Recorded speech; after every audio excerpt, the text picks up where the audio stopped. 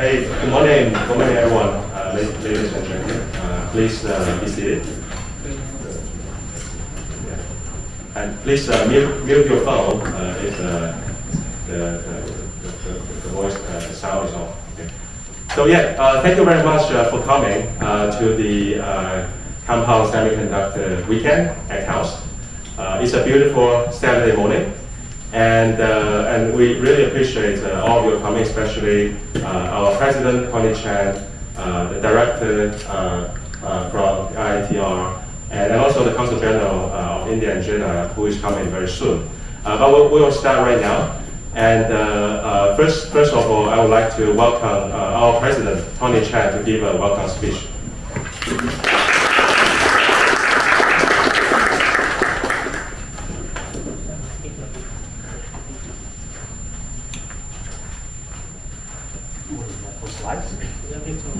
I don't have slides. Okay. Okay. Uh, good morning, uh, everyone. Uh, uh, I want to say hello to the, uh, His Excellency, uh, the Consul General, uh, Mohd Shahid Alam, who's supposedly on his way anytime. Also, Professor Ajit, who is on the screen. Welcome. And also guests from different IITs and also Saudi universities, including, of course, my uh, colleagues, faculty, researchers, students. So welcome to the KAUST Compound Semiconductor Weekend and to this beautiful Saturday morning by the Red Sea. The Red Sea is right here. So since the invention of transistor 75 years ago, Semiconductor chips have arguably become the most crucial physical foundation of the third and the fourth industrial revolutions. Unless you've been sleeping, you must know that the world depends on semiconductors, and there's a big shortage, right? We know that. It is central to the operation of most essential systems of modern society, including phones, internet, data center, automobiles, spacecraft, your laptop, everything, your iPhone. So over the past decades, the ever-progressing semiconductor technologies have not only redefined the way we work and live, but also drastically enhanced the energy efficiencies of key human activities and open new ways of harnessing renewable energies. Now, these remarkable impacts are the results of relentless investment in the research and development, where notably numerous breakthroughs were rooted in university research. Since uh, 2020, however, because of the pandemic partially, uh, semiconductors have once again entered the spotlight. But this time, it is because of the global shortage of chips that I referred to that has crippled supply chain worldwide and impact the life and livelihoods of billions of people. Moreover, seismic shifts of major industries, including automobile, communication, and computing demand disruptive chips that are much more efficient, robust, and powerful than the status quo. These recent events and trends highlight the strategic importance of semiconductor globally, but also emerging opportunities for transformative impacts in the region here in the Middle East, in particular in Saudi Arabia. Since uh, our establishment, KAUST has become a hotbed of innovation, clustering dozens of leading faculty and hundreds of researchers developing cutting-edge semiconductor technologies for a multitude of applications. They are supported by advanced nanofabrication and characterization facilities of our core laboratories, we call core labs. So you'll hear from the director uh, in a moment. Now, more recently, KAUST has organized uh, a forum in Riyadh called the Future of Semiconductors, together with uh, our sister in- institution called KACST, uh, and also with the new Research Development and Innovation Authority. So you'll hear more about this. Uh, even in Saudi Arabia, it's just emerging. It's called the RDI A for authority. Okay. Uh, the forum uh, today, we, we think, uh, that forum, I mean, that forum in, uh, at KACST was ideally timed to focus on national strategic plan for advanced manufacturing and technological capability with the goals of participating organization aligned to the overall Saudi Vision 2030. The kingdom anticipates uh, many benefits from localizing semiconductor technology capabilities in diverse sectors, such as the digital economy, automotive uh, industry, manufacturing, and defense. Let me pause here and mention something. You know, we are here in Cape, for those of you who are visiting, just right there, if you just drive there, if there's a road directly there, in 15 minutes, you are another part of, of Saudi Arabia called King Abdullah Economic City. So that's where manufacturing, beyond that is a port, so where you can ship and big things. Uh, you know this uh, electrical vehicle manufacturer called Lucid? They're supposedly compete with Tesla, even more upscale than Tesla. They are they are going to be building uh, Lucids over there. I think starting next year. Okay, so this is real. What we're talking about. It's not just uh, words. But anyway, at KAUST, uh, we want to take advantage of this. So we are actively embracing the challenges and opportunities of semiconductors, including compound semiconductors, which is a topic of discussion this weekend. For example, uh, I recently charged a task force at KAUST to develop strategies for forming a semiconductor initiative at KAUST to elevate KAUST to become a world-leading institute in this area. Uh, Professor Xiaohang Li here is part of that task force, together with several other people, so we'll see. Uh, hopefully this uh, initiative uh, uh, will benefit, will also benefit from all five pillars of KAUST. So traditionally we have five, uh, four pillars, energy, environment, food, and water. So we added a digital component. So I think semiconductor can fall under digital for sure. So the idea is that we look for synergies between and among these uh, different uh, research pillars. Uh, for each one of these, we have one or more than one research centers that goes underlying it. Anyway, in the past and also in the present, student scientists and engineers and entrepreneurs from India have made remarkable contributions to the research and development of semiconductor technologies, including KAUST. I can see many faces. I was talking to some. You've been here. Uh, India also aims to invest tens of billions of US dollars in semiconductor research and manufacturing in the coming years.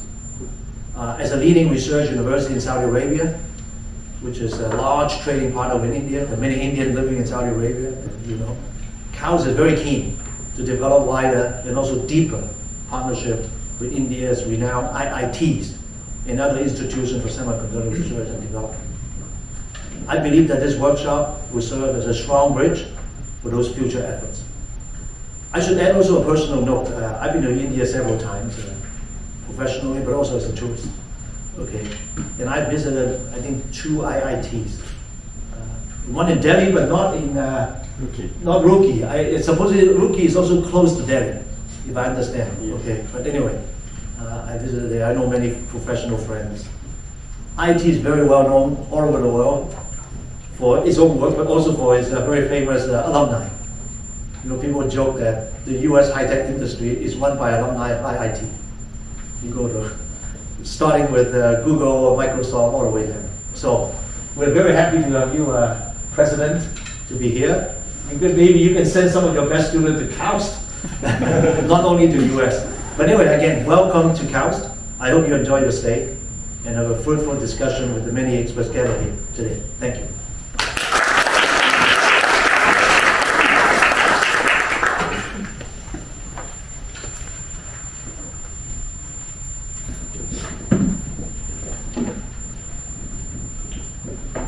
Yeah, thank you very much, uh, President Tony Chan, for your wonderful and uh, warm welcome remarks. Uh, next, I would like to invite uh, Professor uh, Ajit uh, who is also the director of uh, IIT Roorkee, to give a, a, a, welcome speech. Yeah. Please welcome him. thank you for giving me this opportunity to uh, address the inaugural function of the compound uh, semiconductor weekend. I am extremely delighted uh, by the uh, participation of my colleague uh, Professor Biplab Sarkar and the invitation from Professor Xiaohang Li uh, to be a part of this inaugural function. Uh, I can see that uh, our uh, Consul General, His Excellency Shri Mohammad Shahid Alam, has probably joined the event. So, welcome Mohammad Shahid Alam and a very warm good morning to you from IIT Roorkee. Thank you. we all know that IITs have been there for, for more than 60 years now. But I'm happy to share with you that IIT Roorkee has been there for now 175 years. In fact, uh, currently we are celebrating our 175th year. Uh, during this 175 year journey, uh, we have touched a very large number of countries. Of course, the entire India has been uh, touched by IIT Roorkee in the form of faculty and students from different corners of the country but, but also we have students from uh, multiple countries. Uh, we have had different names during this course of 175 years. In 2001, uh, we became a part of the Indian Institute of Technology family, and since 2001, we are uh, known as IIT Roorkee. Uh, today, IIT Roorkee is just like any other large old IIT. Uh, it has more than 9,000 students uh, it has more than 500 faculty members. Uh, it is spread over three campuses. The, the main campus is in Roorkee, which is more than 360 acres. We are divided into a large number of academic departments, more precisely 23 departments. Uh, we also have recently opened a new school of data science and artificial intelligence, uh, known as the Mehta Family School for Data Science and Artificial Intelligence. We opened a new department of design. Uh, we have recently opened a new center, uh, Center for Photonics and Quantum Communication Technologies. So, uh, so we are expanding on the foundation that we already have. And uh, electronics and communication is a very integral, important part of IIT Roorkee because uh, the topic of this workshop, that is semiconductors, is studied across multiple departments. Uh, not only in the Department of Electronics and Communication Engineering, uh, but also in the Department of Physics, and, and, to some extent also in the Department of Nanotechnology and the Department of Metallurgical and Materials Engineering. So this topic is very relevant. We all know that uh, modern world cannot be visualized without the all-pervasive influence of the chips. And the chips are basically formed from semiconductors. Uh, when, when we get up in the morning to when we go to bed, the whole day we are dabbling with multiple electronic gadgets. And in fact, uh, last one year we have been seeing that uh, globally there has been a shortage of chip, chips because of which what has happened is many industries have affected, uh, more, most noticeably the automobile industry. But I was very happy to hear recently in India that uh, whatever shortage was there that had been taken care of and now the automobile industry manufacturing has come back to almost a normal base. Uh, the traditional electronics industry depended on silicon. Uh, silicon was the main workhorse uh, for producing chips, but over a period of time, uh, while silicon continues to be important, uh, modern research has shown that we cannot rely only on silicon. If we want to integrate uh, photonics technology, if you want to integrate RF technology, I think we have to go beyond silicon. And this is what is the topic of uh, this workshop. It's very timely, very relevant. Uh, we need to study compound semiconductors more in detail. And I'm very happy that uh, a very uh, important educational institute in Saudi Arabia, KAUST, King Abdullah University of Science and Technology and IIT Roorkee have joined hands uh, to do this workshop. Uh, my colleague Professor Sarkar is already there. And I, I look forward to nurturing this relationship with KAUST so that uh, this could be a stepping stone uh, for many more collaborations and many more partnerships to follow. Uh, unfortunately, I could not be physically present in today's event because of various other reasons. Otherwise, this physical visits can have a bigger impact. I look forward to inviting the uh, team from KAUST to visit IIT and whenever possible I will also uh, make sure that from IIT Roorkee some of us travel to KAUST to deepen our relationship uh, thanks to this workshop that has sown the seeds for the partnership and we see many more years of growing partnership. With these words, I would like to uh, wish the participants of the workshop that they have very fruitful discussions the entire day and the entire weekend. And, and the effort that the organizers have put in to organize this workshop, it, turns out to be worthwhile uh, by the enjoyment and by the uh, experience gained by the participants during their deliberations. Thank you very much.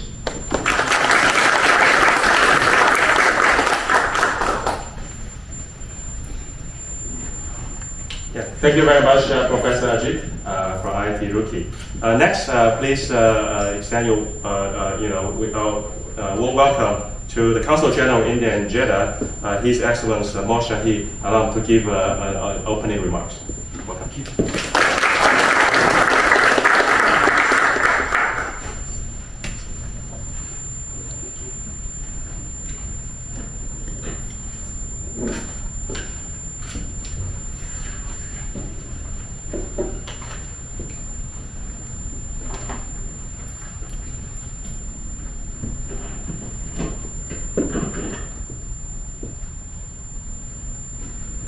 Chan, the president of the King Abdullah University of Science and Technology, Professor Ajit uh, K. Chaturvedi, director of IIT Roorkee, Dr. Daniel Feliz, director, Core Lab and Research Infrastructure in KAUST.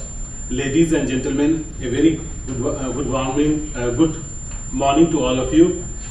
Uh, sorry for being the, being late, uh, but at the outset, I would uh, like to convey my deep appreciation and gratitude to KAUST to, um, uh, to give, give me this an opportunity to be present before you and to uh, attend this uh, amazing workshop on semiconductor. Uh, I'll, I'll briefly highlight the progress uh, in the semiconductor sector in India. Uh, I'm very much happy, happy, and delighted that such a workshop is being conducted by the scientific and academic community of both the nations together. I am especially thankful to the IIT Roorkee who has taken this initiative uh, for the partnership between the uh, two great institutions in the Kingdom of Saudi Arabia and in India. In fact, the future of uh, our countries is not only dependent on how quickly we innovate, but how we are able to uh, quickly adapt and participate in the next generation of uh, uh, innovation in data, AI, and other technologies. I am glad that the focus of both the countries is in the, is in the right place in this regard. In India, in the past decade, we have witnessed revolutionary developments when it comes to digital India initiatives. The way India connected to 1.3 billion people through financial inclusion, banking, and digital payment revolution is unparalleled. Uh, in the world. We are investing in developing capabilities in 5G, Internet of uh, IoT, and clean energy technologies. These developments would not have taken place without a robust semiconductor industry. Uh, India has set ambitious goals and missions such as National Electric Mobility Mission, National Optical Fiber Network, which is the world's largest rural broadband connectivity program using optical fiber. National, National Solar Mission with a target of 75 gigawatt capacity by 2020 to this year and the world's largest LED bulb distribution program called Ujala scheme which aims to promote the efficient use of energy. These goals and missions have necessitated the use of semiconductors at a large scale besides its strategic applications. The successful achievements of the targets in these goals and missions is directly linked to the development in the field of the semiconductors. Hence, the government of India is having a special focus in the research in the field of semiconductors. Our Honorable Prime Minister, Mr. Narendra Modi, in his speech on the recently concluded Independence Day, has said that there is a necessity, necessity to add Jai Anusandhan, which is research and development, to our famous slogan of Jai Jawan, Jai Kisan, and Jai Vigyan. We have revamped and improved our regulatory frameworks, investing ecosystem and investing ecosystem and taxation, among other things, to facilitate the environment for the growth of semiconductor sector in India. The government of India has recently announced the Semicon India program under the Make in India initiative with a total outlay of over 10 billion US dollars. India's consumption of semiconductors is expected to cross 80 billion dollars by 2026 and 110 billion dollars by 2030. With the right policies and support from the government and contribution from the private sector, we have been able to develop an exceptional semiconductor design talent pool which makes up 20% of world semiconductor design engineers. Amongst all the 25 semiconductor design companies uh, have their design or R&D centers in India. In this regard, the industry academic linkage is important for innovation and knowledge transfer. I am sure that the talks and discussions in the compound semiconductor workshop will be very fruitful and sharing of the experience and knowledge will help in enhancing the research and developments in this field and cooperation and collaboration between the two institutions of the IIT Roorkee and KAUST will continue in future as well. I am also happy to uh, convey you that uh, the premier institutions like uh, IIT is also planning to establish one of the centers in the kingdom and we uh, and, insha- and inshallah hopefully we are making a rapid progress in this direction so not only the physical um, uh, move, uh, uh, person movement of person from IIT here but also in fact the possibility of one of the premier institution centers in the kingdom as well. Uh, this is, uh, there is already advanced talk and hopefully in the future we will see I, one of the centers of IIT in Riyadh. With these words, I conclude by once again expressing my deep sense, deep sense of gratitude and appreciation to KAUST and all, invo- and all involved in the organization of this event for giving me the honor and the opportunity to speak at this conference. Thank you, thank you so much.